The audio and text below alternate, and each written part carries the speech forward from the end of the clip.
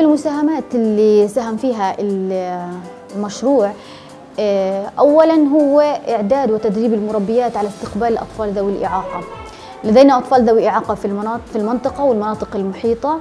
آه، أحيانا نجد صعوبات في استقبال الأطفال صراحة. المشروع اولا آه، يعني ساعد المربيات على التعرف على مفهوم الإعاقة بشكل عام. وعلى تدريبهم على استقبال أي أطفال لديهم ذوي إعاقة. وهذا كان من أهم الأهداف اللي اللي كنا آه، سابقا يعني نسعى لتحقيقها وتم تحقيقها الحمد لله من خلال هذا التدريب. طبعا آه، بجانب التدريب اللي كانت بتقوم فيه اللي هم أخصائيين مختصين في الإعاقة كان في لدينا إنه تنفيذ أنشطة خاصة بالأطفال ذوي الاعاقه والآخرين لأنه إحنا من خلال المشروع الهدف الاسمى هو دمج الأطفال ذوي الإعاقة مع الأطفال السليمين.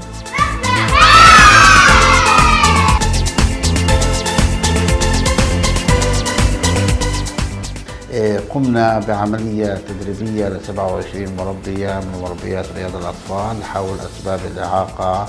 وخلفية معلوماتية حول الإعاقة في قطاع غزة وفلسطين والتطور التاريخي للإعاقة ومراحل النمو والتطور ومفاهيم خاطئة في التعامل مع الأطفال ذوي الإعاقة وكيف نستطيع أن نبني خطة فردية وخطة سلوكية للأطفال ذوي الإعاقة في رياض الأطفال وما هي الروضة الجامعة للأطفال ذوي الإعاقة وكيف يمكن أن نكون قادة في دعم ومساندة قضايا الأطفال ذوي الإعاقة في رياض الأطفال؟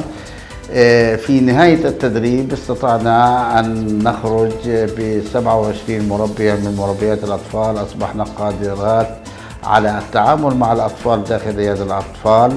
وأصبحنا قادرات على الاكتشاف المبكر للإعاقة وأصبحنا قادرات على وضع خطط فردية وتعليمية للأطفال ذوي الإعاقة في رياض الأطفال. كما أصبحنا هؤلاء المربيات قادرات على التعامل مع كافة الأطفال داخل رياض الأطفال والتعرف على المفاهيم المحلية والدولية التي تساند وتدعم الحق في التعليم للأطفال ذوي الإعاقة في رياض الأطفال. لاستكمال آه، العملية التدريبية يجب العمل على إعداد دليل تحويل. ما بين رياض الأطفال الموجودة في محافظة شمال قطاع غزة وما بين مقدمي الخدمات التأهيلية وذلك من أجل تعزيز الاكتشاف المبكر للأطفال ذوي الإعاقة في رياض الأطفال ووضع خطة علاجية لهم من خلال تقديم الخدمات لهم من قبل مؤسسات المجتمع المدني.